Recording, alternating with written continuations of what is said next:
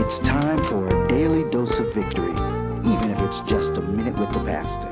Hey, I'm Pastor Tony, the pastor of Victorious Ministry, and this is Thanksgiving Day, the day that we set aside as a country to be thankful for all the things that's done. I mean, it's bigger than the turkey and the ham, but don't leave that out. It's bigger than the fried chicken and this and all the stuffing and, and the macaroni and cheese and the greens and all those things and all the different types of drinks and all the cakes. Lord, have mercy. Should nobody be hungry on Thanksgiving, even though there will be some people, unfortunately, that someone don't consider and they'll have to pull out a TV dinner. They'll eat potato chips and, and, and, and um, um, Kool-Aid and and that'll be their day and they'll turn on the tv if they have electricity. And, and, and we got to pray that someone reaches those people and make a difference in those people's lives by showing them that listen you i might not know a lot about you but i'm grateful for you. I want to take some time today and, and, and tell you all of baltimore and all of, of those that are listening to us in our region that i am so thankful and grateful for my son tony smith jr boy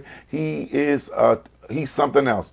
Um, he's, he's in college now, and, and, God is allowing him to move forward in things, and I'm so appreciative. He's he's not always what I want him to be, but he sure is my son, and I'm so appreciative that God has allowed me, a person that does not even deserve to be who I am, a person that does not even have the didn't know the abilities of how to raise any children, that God gave, gave allowed me to have a son as Tony Smith, and and I want to salute him and, and celebrate him for uh, um, today, this Thanksgiving Day. Go around the house and see all the grandmothers, Tony, and go around and, and, deal with them. Go see your mother and all that, and then come and give your papa holler. And I want you to know that we love you and celebrate you. This is Thanksgiving week. I want to celebrate and salute all the children that are adopted to me by the Spirit because you are valuable and important to me also.